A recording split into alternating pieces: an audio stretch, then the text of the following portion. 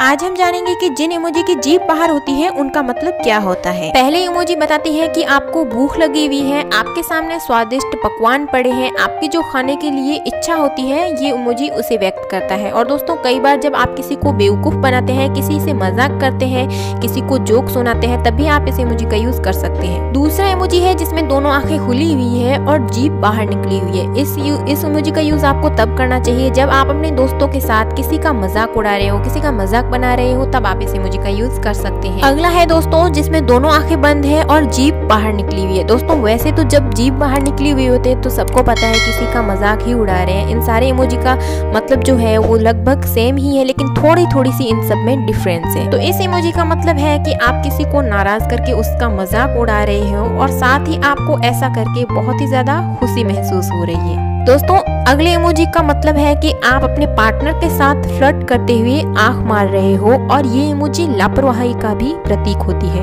अगला इमोजी का नाम है क्रेजी फेस दोस्तों, ये इमोजी आपकी बहुत ज़्यादा खुशी और उत्साह को दिखाता है। आप, आपकी पागल हरकत, आपने कोई बहुत ही ज़्यादा अजीब सा मज़ाक किया है, खराब मज़ाक किसी के साथ किया है, तब आप इस इमोजी का यूज़ कर सकते हैं। इसी के साथ वीडियो खत्म करते हैं। वीडियो अगर आपको पसंद आई हो तो लाइक शेयर और चैनल को सब्सक्राइब करना ना भूलें।